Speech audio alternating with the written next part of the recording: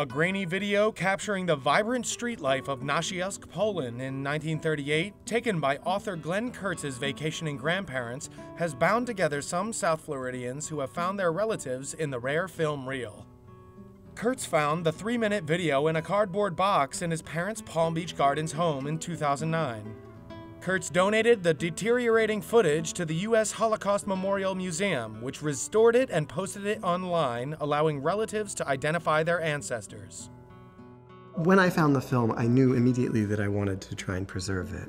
In the end, I chose the Holocaust Museum to deposit it because the facilities were simply better and the Holocaust Museum would be able to make the film available by making the film available to a larger public, you never know who might see it.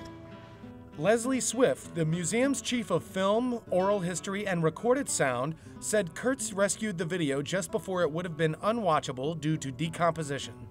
Jews from Nasielsk in central Poland were deported by the Nazis a year after Kurtz's grandparents' visit. According to the museum, only about 80 of the 3,000 Jews survived the war. Kurtz tells the story behind the 16mm color video and the genealogical detective work that consumed him for four years as he researched Nasielsk and its descendants in his new book, Three Minutes in Poland.